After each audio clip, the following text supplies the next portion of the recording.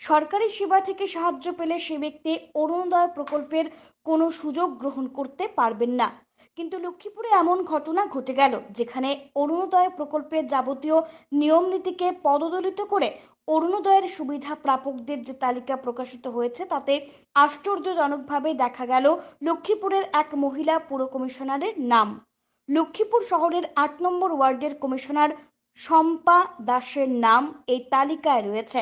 এই তালিকাটি দেখার পর আজ জেলা শাসকের কাছে এ বিষয়ে একটি স্মারকপত্র দিলেন লক্ষ্মীপুর পৌরসভার কংগ্রেসের পুর কমিশনার অমিত দাস। তার প্রশ্ন, একজন ওয়ার্ড কমিশনার পৌরসভা থেকে দশ হাজার টাকা বেতন পেয়ে থাকেন। যেহেতু তিনি সরকারি সুবিধা পাচ্ছেন, তাহলে তার নামে কেন অরুণোদয় দেওয়া হবে? অমিত আরও বললেন অরুণোদয় প্রকল্পের উদ্দেশ্য হলো দুস্থ মহিলাদের সাহায্য করা। কিন্তু লক্ষ্মীপুরে দেখা যাচ্ছে, যারা পুরসভা থেকে বেতন পাচ্ছেন, তাদের এই প্রকল্পের সুবিধা দেওয়া হচ্ছে।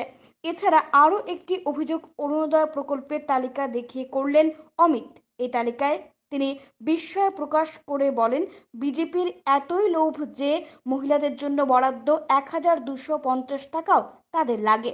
লক্ষ্মীপুরের আরেক বিজেপি ওয়ার্ড কমিশনার গুঞ্জন দাসের মায়ের নামও রয়েছে এই তালিকায়।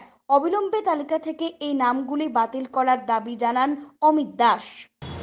লক্ষ্মীপুরে অরুণোদয়ের নামে লক্ষ্মীপুর পৌরসভার ভিতরে যেভাবে অপচয় হয়েছে এবং বেনিফিশিয়ারিসদের যারা যে যে চয়ন করা হয়েছে, সমস্ত অনিয়মভাবে সেটা করা হয়েছে। অরুণোদয়ের গাইডলাইন্স অনুযায়ী কোনো সাংবিধানিক পদের থেকে কোনো নির্বাচিত প্রতিনিধি থাকলে অরুণোদয়ের বেনিফিশিয়ারিস নেওয়া যায় না।